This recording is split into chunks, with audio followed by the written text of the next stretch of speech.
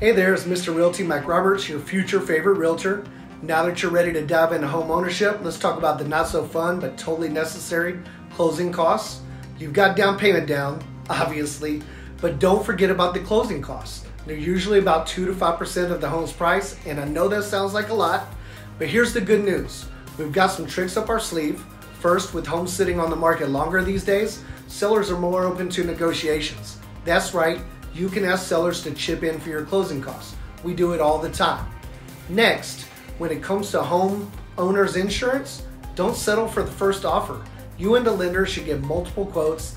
Think of it a little bit like swiping right until you find the perfect match for homeowners insurance.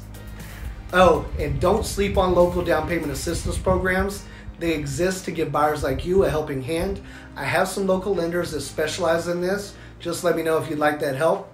Long story short, having the right team by your side makes all the difference in the world, and Mr. Realty wants to be on your team. Put me in the game, coach. Let's do this.